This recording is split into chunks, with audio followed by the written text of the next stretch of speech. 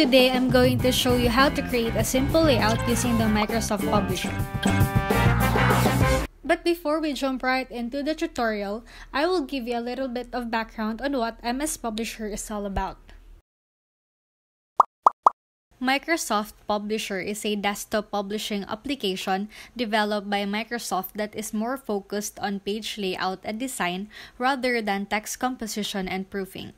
MS Publisher is an office application that allows you to create professional documents such as newsletters, postcards, flyers, invitations, brochures, and more using other built in templates.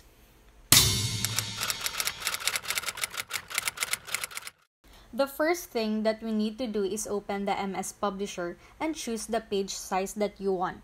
In this layout, I only chose the blank 8.5 inches by 11 inches page size. Then I'll go to the page design tab and change the margin into none so that we can lay out easily. Next, we'll choose the layout where we will get inspiration for our design. I will only try to copy the right side of the magazine in this tutorial. Our theme in this layout is summer. In order to insert a photo, go to the Insert tab and click Pictures.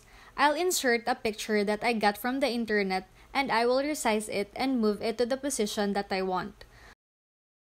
I'll insert a rectangle shape on the lower left of the big photo. This shape will serve as a border for the next photo that I'll add. Again, I'll insert a new photo and crop it to remove some parts of it.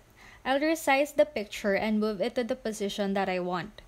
I will insert another rectangle that will serve as the background for our text. Just change the shape fill and remove the shape outline. To insert a text, click the Draw Text Box button. In this layout, I'll use the quote that I got from the internet which says, A little bit of summer is what the whole year is all about. I will change the font of the text into Couture and adjust its size. The punctuation marks can't be seen so I'll change its font to Bebas Neue. I'll also change the color of the quotation marks to make it more creative. And finally, we're done.